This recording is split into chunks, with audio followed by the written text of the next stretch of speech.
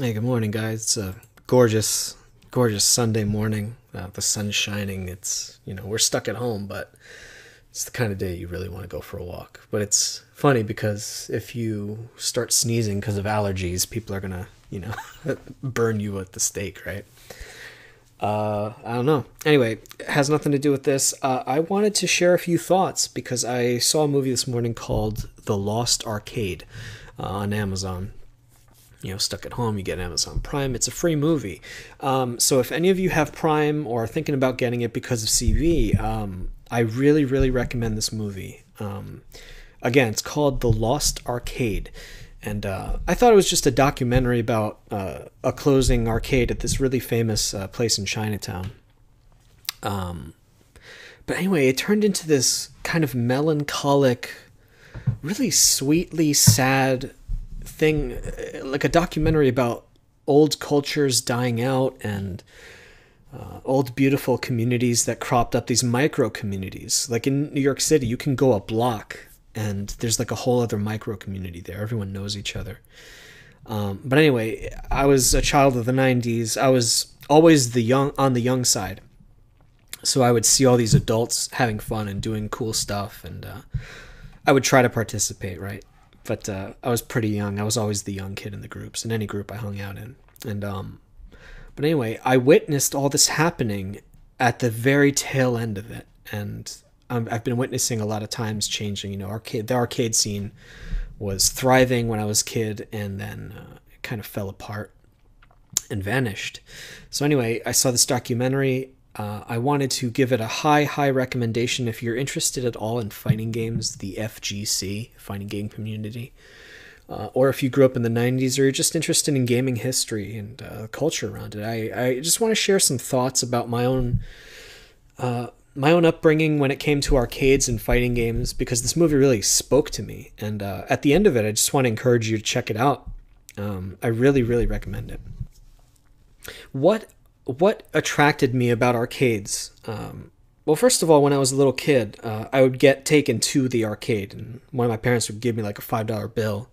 You go to the machine, the coin machine, you put it in, and uh, these quarters would come out. We didn't have tokens; there were quarters.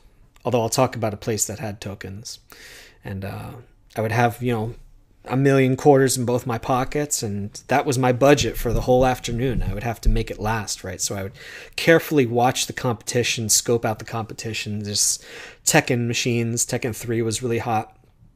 And uh, games like street fighter 2 and alpha and capcom games marvel vs capcom those like street fighter versus marvel and those kinds of games like uh, marvel superheroes those old games. Or I'd play billiards or something like that. And um, I grew up around this uh, culture where it's like, hey, just have some money and make it last because if you lose too quickly, you're just going to sit there being bored, and you have to watch people play or kind of press the buttons pretending that you were playing. So there was this kind of early thing of you got to get good, right? Make the money last. And these these were places. A lot of these places were very cigarette smoky, and um, eh, there were laws eventually that made it so that uh, you're not allowed to smoke indoors anywhere. And where I live, it's New Jersey and New York. But back in then, back in those days, you could smoke inside. So I was a little kid breathing in lungfuls of cigarette smoke, and it was, I would always come home reeking. Oh man, I can't say those are good times, but that was part of the flavor. This the smell of cigarettes makes me think of arcades and stuff and pool halls. Uh, I would play a lot of pool when I was uh, younger too, bowling and stuff like that. Um, but yeah, so as I got a little older and I would go to the city, uh, I commuted to uh, an art school for my college years, a couple of basically two years straight. And uh, there was uh, my local arcade was actually at Port Authority Station, uh, in, around 42nd Street, Midtown, in uh, 2000, early 2000s. And I have these really fond memories of playing there. the games that I played were um, I played a lot of Marvel vs. Capcom, uh, or at least at home. I thought I was good at it, but turns out no, I wasn't. Because you would play against these guys who were the best players on the East Coast, some of them, and they would go there to train. And um, I really got into Capcom vs. SNK too. Uh, I played a lot of Tekken, a lot of Tekken, uh, but I was never uh, at a high level at it. Um, there were these guys that were like, you know, full grown adults, and I was barely a late teenager, you know, what, uh, this little scrawny kid coming home from school with my art supplies, and I would spend all my money. Um, I would even some nights when it got really heated, I would spend my bus money. Uh, I would use up all my money uh, playing uh, Marvel vs. Capcom or something or CVS two, and I would have to uh, overdraw my debit card just to get a bus ticket to go home because I accidentally spent all my money at the arcade. And uh, so that's like a thirty dollar bus ride where normally it was four bucks or something like that. Uh, so these games really get in your head, and uh, I have these memories. I just want to share some memories where like there was one time some again these are like scary older guys right like tough guys from the city and i was just a suburb kid and uh, there was one guy behind me uh, yelling at me like dude you gotta you gotta keep hitting them while they're down in tekken. I was playing kazuya one day. He's like you gotta keep that's why you keep losing. You gotta hit them while they're down. And what i didn't say because i was scared you know i didn't talk to anybody. I was like dude i don't want to get stabbed when i leave this arcade. Because I knew, of course, you could hit guys while they're down. That's part of the game in Tekken, but uh, it's there was always this fear of like they're going to turn around and punch me, which was ironic because there was a lot of times where I wanted to turn around and punch someone who beat me, right? And not in like a real way, but like you would get really heated. And uh, later, I learned when I really got into fighting games, like uh, letting people get up is actually a form of disrespect so it was kind of a damned if you do, damned if you don't.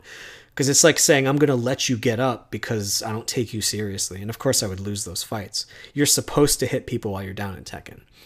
Uh, you would learn things like disrespect and respect, and you would shake people's hands. Sometimes, like, if you could imagine this little skinny white kid in the middle of New York City and there's I'm surrounded by tough guys, right? Really tough looking guys.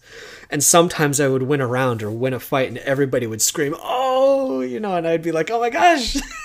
I I'd be scared and excited at the same time. It's like, "Wow, I've I found a place where I'm actually I don't know. I didn't feel welcome there exactly, but that's mostly cuz I was shy But it's like i'm so terrified of you guys because you all look like you're gonna stab me but like oh man they were it was so much fun and I, so there was this arcade my main arcade was port authority station because it was the place that i would stop by uh, on my way to school when no one was there i would practice and there was no one there and on my way home there was a lot of people there because it was usually the evenings and definitely on weekends and I would spend a lot of money there. I spent a lot of time, and uh, there were rumors I would hear sometimes people talking, or they would talk to me about this place in Chinatown, but I never got the name of it, or if I did, I forgot it.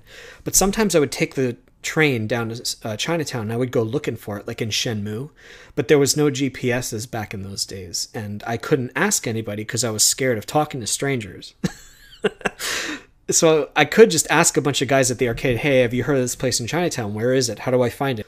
I don't know. For some reason, I could never find this place. But watching this uh, documentary, I learned it's called uh, Chinatown Fair.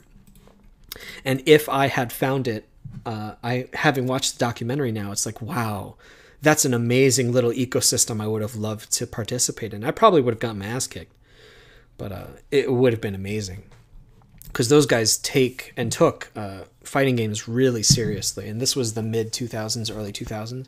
It would have been the perfect time. Uh, people were playing Tekken Tag still, Tekken 4. Marvel vs. Capcom 2 was hot. Uh, again, Capcom vs. SNK 2, that was my game. I loved it. Uh, man, it would have been so much fun. But rewinding a little bit, uh, in my high school years, there was this place called Sports World in Paramus, New Jersey, where me and my buddies we would get into their. maybe I'm getting ahead of myself, but we had a, a little a clique of friends, a couple of guys who would uh, we would get together on Fridays, Saturdays, whatever. We would get together whenever, any nights. And my one friend, uh, he was the cool guy, you know, who had a car, and uh, he would get us in his white Benz who he bought it used or something, but uh, somehow he got a white Benz for like a really good deal, and we would go cruising, and he uh, souped it up. with like speakers and a bass in the back and a CD changer in his trunk, and we would listen to J-pop and go driving around. And one of our haunts was uh, Sports World, and it was an amazing little place where like there was a pretty healthy scene. We would play a lot of Tekken Tag, and uh, there were some nights where like I wasn't like an expert at the game at the time, and you know we would train at home at each other's houses to get good, and then we would take take our skills to the road and uh, fight other guys who were playing. And uh, there was one time where a guy wouldn't let me get up, and I didn't understand the game well enough. So like I would try to tag out my characters, and he would punish me when my character my, when my uh, my tag team member was coming in because sometimes you, the way that the game worked basically is that you have to uh, tag when it's safe and he would punish me because i would tag when it wasn't safe and i was like dude you you won't even let me tag you're not even playing the game right and i was like complaining i shouldn't have said anything right you never talk to your partner during these games bad idea and i remember he was like screaming at me what what what and I was trying to reason with him. like, I'm trying to learn the game, dude. Just let me tag. And I was being unreasonable. I should have known. There's no mercy in the arcade. But he was screaming, what, what? And I wanted to meet him in the back to get into a fist fight with him. And uh, you got to imagine, I'm just this little kid. Again, I'm the young kid in my group of friends. And they're like telling me, George, you're being stupid. Stop. Relax. Just stop. Uh, trying to get into fights with strangers. and we were scared that they were going to be waiting for us. Anyway, so that's a story. Another story is we played a lot of DDR, and uh, we even got those nice pads. This game called Dance Dance Revolution, where uh, it's like Guitar Hero, except instead of playing the guitar or rock band, you step uh, in tune with the music and you do these dance routines. And some of the really advanced songs, you could do tricks like playing backwards and there were a couple of times where I would surprise my friends, and DDR would gather a crowd on a Friday night. So again, you imagine me, this little kid, uh, surprising all my friends and like 20 other people standing around the DDR machine because it's like, oh, it's that kid. And I would play some songs backwards, like not even looking at the screen. And I would like look at the crowd, like, yeah, that's right, I'm doing this. we would have so much fun. And there's there's something very special about the feeling of gathering a crowd. And it's like oh it's that kid. And uh, yeah me and my friends would do that. There were other times when uh, we would drive over to fort lee new jersey. And um, there was this place called cyber zone and uh, it, it, was a korean internet cafe and you could uh, rent time at a computer and play games like uh, counter-strike. And that was back in the days of like counter-strike 1.3 and um, there was one night where I was the last guy surviving on my team, and I had uh, what do you call that? Uh, the rifle, the uh, CT rifle, and um, I was fighting against all these amazing Korean players, and I was the last guy standing, and my friends were like, "Yo, oh man, oh yo, he's gonna do it!" And I beat the whole Korean team by myself one night and I was like so excited and again scared because these were like tough guy Koreans, you know, the kinds that like smoked and stuff and hung out. And of course, smoking is not smoking's not cool, but these were the tough guys, right? And I was just a high schooler, a scrawny kid, and um, there was at the end of that round, someone in the in the place got up and screamed like who's this guy and they said my uh, gamer tag uh, it wasn't g prime but like they're like who's g prime and I was like, oh shit. And I kind of stuck my head down, like, oh, they're to find me. And it was a moment of pride and fear. And uh, those were amazing, amazing years. And uh, part of the reason why I love this documentary so much is it also captures the melancholy of what happens when it's all over because those were some really exciting years. I can't explain like the level of like heightened awareness like every second and man, you would get into these really heated rivalries, and it's like, oh, it's that guy. I'm going to beat him this week.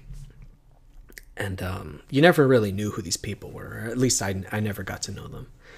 Um, and you would take breaks. People would go out to smoke, or you get like a hot dog and some soda or something. Kind of watch people play, try to study their style so you could beat them. But um, since I was the young kid in my group of friends, uh, they either all went off to college or they moved. And by the time I was a senior in high school, I was the only kid left uh, in this group of friends. So part of the the, the feeling that this uh, movie captures so well is this feeling of melancholy of like everyone else has moved on and I'm the only guy still here trying to to recapture the magic, you know.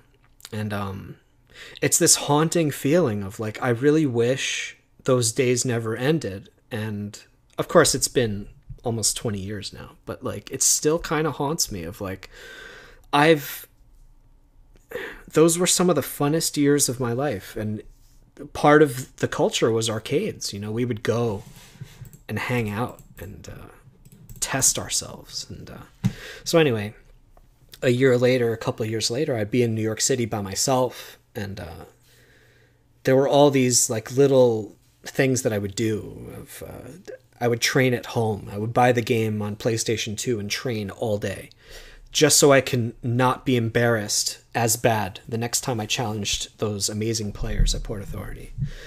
And uh, there was one day where I was playing Marvel vs. Capcom 2, and I just got crushed. Like I couldn't even touch a guy.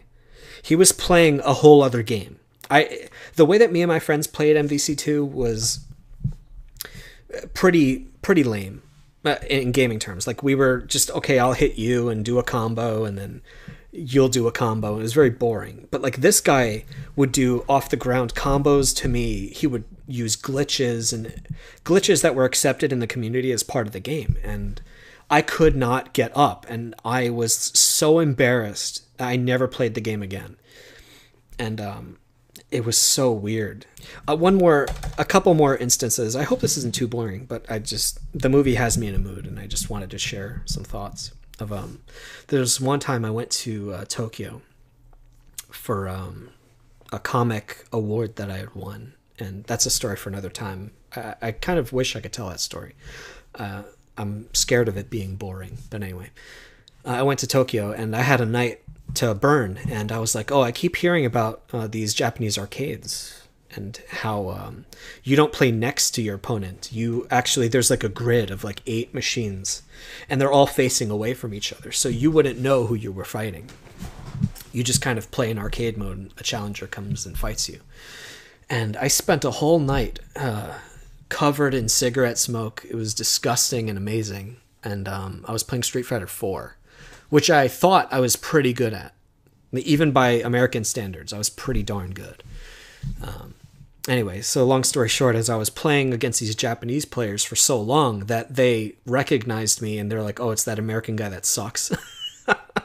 no one, no one wanted to play with me, so I would just kind of sit there for like an hour. But there was this one time where I won a round, and I was like, there was like silence around me, and I was like, "Oh my god, I just beat a Japanese player." I just beat around. I think I was playing uh, Gouken or Akuma, but but that's the amazing feeling of like you're not supposed to be able to stand up against these amazing players, but as as just this ca- not casual, but like I would play fairly seriously, but I could never beat the serious players at like a tournament or something. But like there's that feeling of oh crap, I just beat them, and and I earned it. They were trying to beat me. I actually almost kind of am decent at this game. And um, in Tokyo, those are the best players in the world, and they play there every night. So part of what I'm trying to say is there's this feeling of community and this amazing feeling of self improvement that happens with fighting games, especially. I mean, these games are like about studying systems, like deep systems, frame data, and it's also about your physical, uh, like reflexes muscle memory, practicing so much that your hands move by themselves before your brain even has time to think, uh, mind games with your enemy. Um, it's it's an amazing scene, and it's gone. It's been gone for years, and playing online is not the same thing. Um, but anyway, I just wanted to share some of my experiences. Um, but this also has me thinking because obviously I'm making comics and the business of comics is similar to arcades. Comics has been able to hold on longer, but I feel like they're kind of dying out in the same way, eh, kind of in the same way.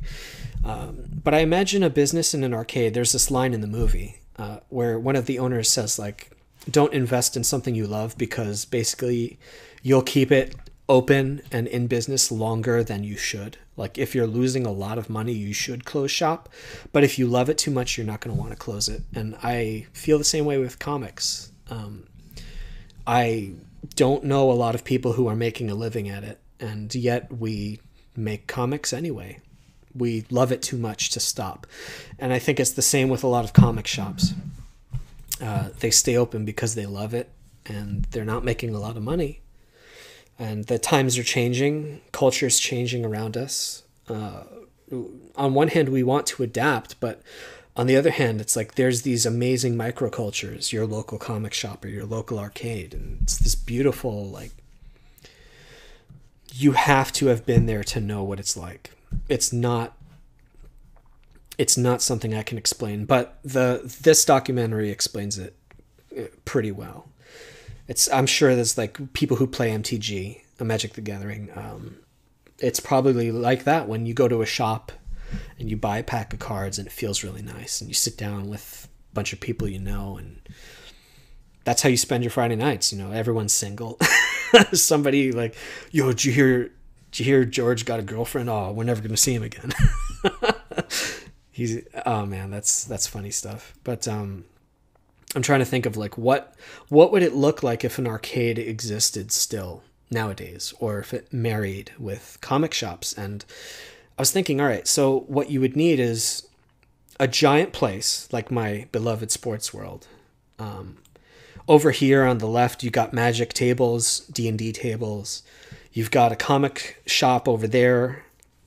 You've got arcade games on this side maybe a bunch of artist alley kind of thing. And i was as I was listing all the things I want in the ultimate arcade slash comic shop, I'm like, oh, it's just a convention that's open 365 days a year.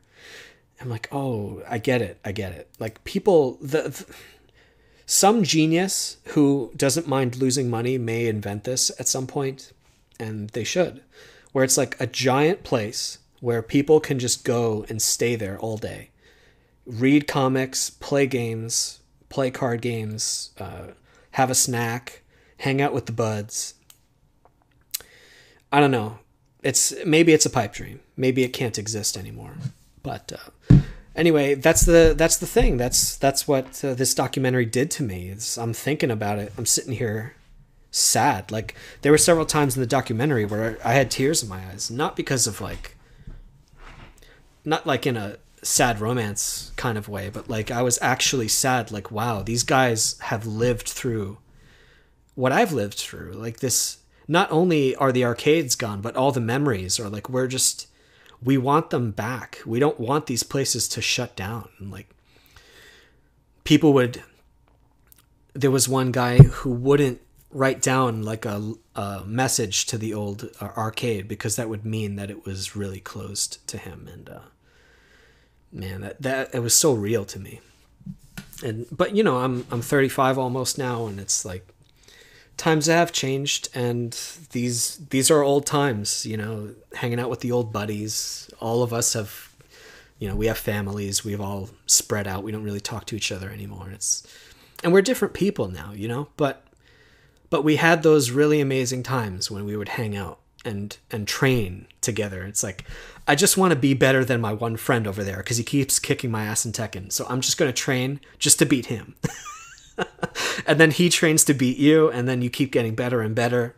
And next thing you know, you're doing tournaments and stuff. And uh, I don't have so much time uh, for that these days, but I'll tell you something.